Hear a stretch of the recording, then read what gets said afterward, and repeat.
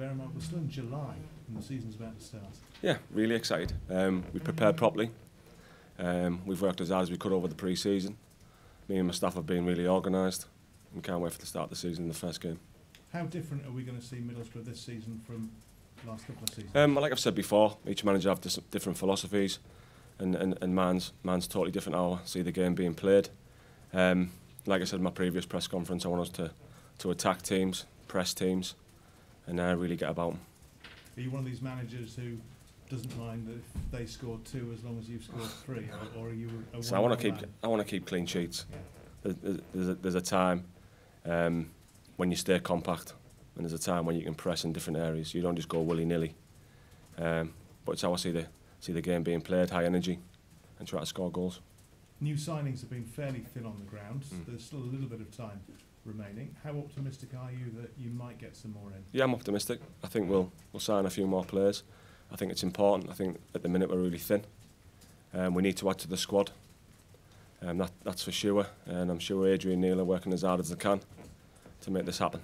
And what are the priorities for you in terms of the positions? Well, I know what I want myself, but I'm not going to broadcast it live. Um, what I want. Um, Steve Gibson is uh, a chairman who's always had very good relationships with his managers and has given them plenty of time and, and money as well, Mm. usually. How's your relationship with him, and is it maybe different because you're a local lad? I have a fantastic relationship with the chairman. Um, really good. Um, he's given me the opportunity at the end of the day, um, but it's strictly professional, and that's how it will remain. You played here, that must have been a dream as a Middlesbrough boy. Is, is this going to be even more of a dream? Something that, as a lad growing up... Well, I never... When I was a young kid, I only had James Bell playing for Middlesbrough. But since I was about, say, 30 year old, I always wanted to manage a football club. Um, so it, um, I'm privileged to, to manage this fantastic football club. Does it put extra pressure on you being local, or, or does it give you a little bit more? There's bigger things in life which, with, with, with more pressure to it, that's for sure. But in terms of, of you for your first managerial mm. job uh, as, as the number one, it's a very big very high profile club, isn't it? So Yeah, it's a, it's, a, it's, a, it's a big club for my first job. But like I say, I'll take it in my stride. Um, I've got great support staff around me, and all the staff at the football club will help me. The managers um, that you mentioned, you, you, you've taken something from people that you've you've managed. Today, I don't know if you're aware, it's the 10th anniversary that, that we lost to Bobby Robson. Mm.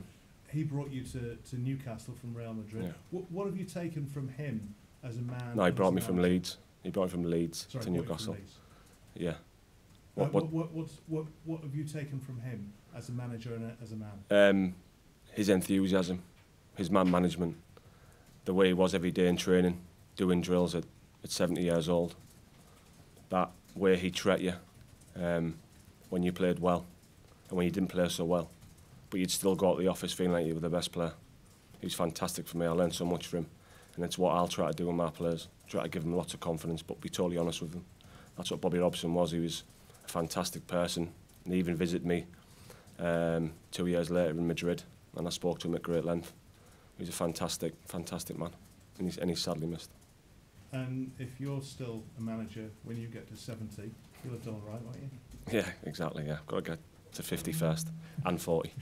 what, what, uh, uh, away from Sir, Sir Bobby, what, what other things have you taken from other managers that you've, that you've played? Um, well, I've had some some fantastic managers like I've been through before. Um, I think I've worked for over over 20 managers. Um, if you look at David O'Leary in a similar situation as me, 39 year old got the job, um, decided to put a lot of young players in.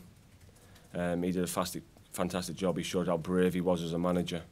And you look at the likes of um, Anaitor Karanka, a fantastic organiser, um, really got a, a team bonding together. If you look at Harry Redknapp or Terry Venables, the man management, what they did to the players on and off the pitch was fantastic. I could go through every single every single manager I've worked with. Um, Paul Hart and Eddie Gray, what they instilled in me from a young age as a Leeds United schoolboy playing in youth team football. Um, the amount the amount of pressure they put on you to win games and have that winning mentality, even in training sessions to do that week in, week out. But that's helped me immensely.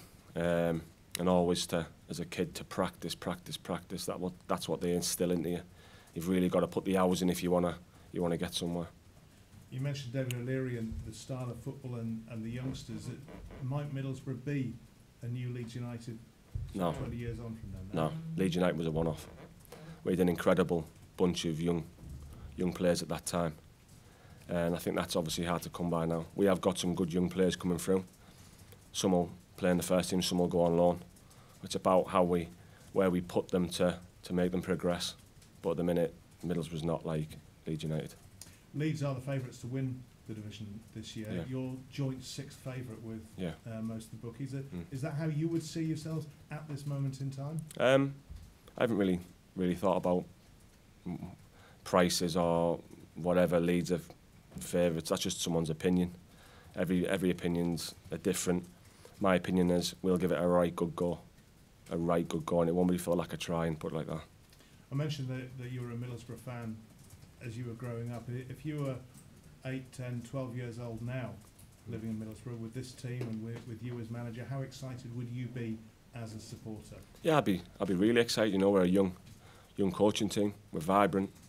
Um, we want to try and buy younger players and, and, and, and get younger players into the team.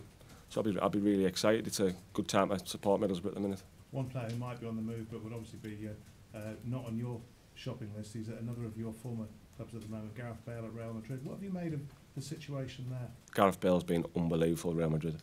He's won four European Cups at Real Madrid. That is unbelievable. Won one league. He's had an incredible career. An incredible career. He's a fantastic guy. He'll just keep his head down and, and graft away. I've got nothing but admiration for Gareth Bale. Okay, thank you. Thanks. That's it from me. Jonathan, I mean, do you think this uh, this opportunity has come at the right time for you as a, as a coach, or perhaps a little bit earlier than you expected? Um, I'm ready. I'm ready, and obviously the chairman thinks I'm ready for it. Um, I think I'll be a success. I think I've got the work ethic to do that. Obviously, you need the right players. If we can add a few more, then I think we'll we'll get that. you have the chairman, the chief exec, and the head of recruitment sort of endorsing your your appointment. Um, clearly, you've got a brief to to bring on the youngsters, and you showed that in the in the friendly on Sunday, didn't you? I mean, people like Hayden Coulson, obviously impressive. Yeah, I think Hayden's been a standout performer all pre-season. Um, I was trying to push Hayden Coulson uh, two seasons back now, where Tony Pulis first got the job. I see Hayden as a fantastic talent. Um, he went on, on loan twice last season and, and didn't do great at times, but it's obviously the environment sometimes that you put him into. I think now we've got a fantastic environment at the football club. I'm behind him. I'll give him all the confidence in the world to succeed. He can play a number of positions for me. And if you see it today again in training, he was he was uh, he was fantastic. He'll be, in my view, Hayden Coulson will be going places. You've been coaching obviously under Tony Pulis, and, and you mentioned um, at, at the press conference just how much he'd done behind the scenes to sort of set foundations for perhaps the, the future that you're taking on. Yeah. Well, he set foundations for myself as well. I said, I've said numerous occasions without Tony Pulis and his grounding and what he did for me, that learning experience that I had from him, I wouldn't be here now. He gave me, he gave me um, roles to do within the football club. I could have one-on-one -on -one meetings with players. I could hold team meetings. I did training sessions, shape sessions. he'd, he'd let me do. He really, I really enjoyed working because he gave me that that freedom and helped me along how to deal with different situations. So without without Tony and his, his guidance, it, it would be difficult. The experience I learned from him was fantastic. You've talked about being short on numbers and that uh, Adrian and Neil are working hard behind the scenes, but uh, obviously you've brought in a couple of young players lately, at the weekend, Marc Bola and uh, Marcus Browne, but you also said, uh, don't forget, we need some experience as well. Is that the key to get the blend of youth and experience right? Yeah, I'll, that's what I'll, I'll go back to the the Leeds United days when I say we brought young players in, but we had Nigel Martyn, a David Batty, a David Weatherall, a Lucas Radebe behind that. So that, that that's what you need. You need that right blend. You need the George friends in the group. You need the Johnny Elsons. You need them that right blend to bring these players on what it takes to make it at the top. Because you can have all the ability in the world, but if you haven't got the attitude and the desire and the hunger to get there, you won't get there. Ability can only take you so far. So that's why you have these players in your dressing room. the good players, but also to bring your younger players on. George Friend and Darren Randolph obviously missing for the friendly. Do you think they'll be okay for the Luton game? Um, I'd like to think so. And that game, obviously, they're always dangerous opponents. Teams who've just got promoted. Luton seem to be sort of on very much an upward trajectory, but uh, Boro have got a very good away record.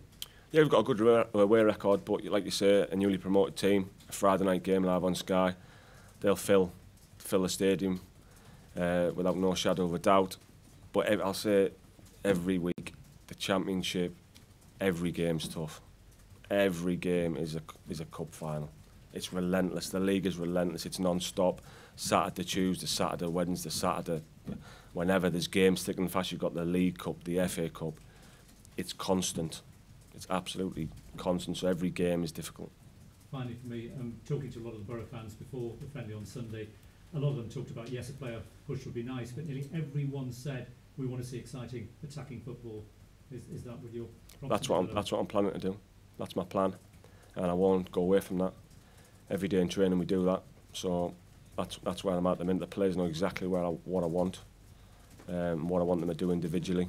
Um, if we stay brave as a as a, as a team, and me as a manager stay brave, we can we can do that.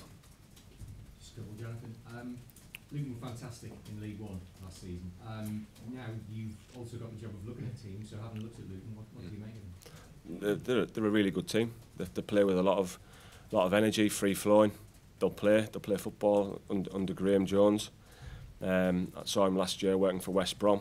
They'll they'll definitely play, uh, and it's up to us to try and try and stop that and counter press that. You touched on it a bit, but it, it, it ticks a lot of boxes for a first game, isn't it? It's a really nice first game. Is it? in your view? Yeah, yeah. Yeah, yeah, well, that's in your view. um, every game, like I've said, every game in this championship is so hard maybe Luton Town away, maybe West Brom at home, Barn, um, Barnsley away, Charlton at home. Every single game in this championship is tough, and Luton be a really tough, tough game for us.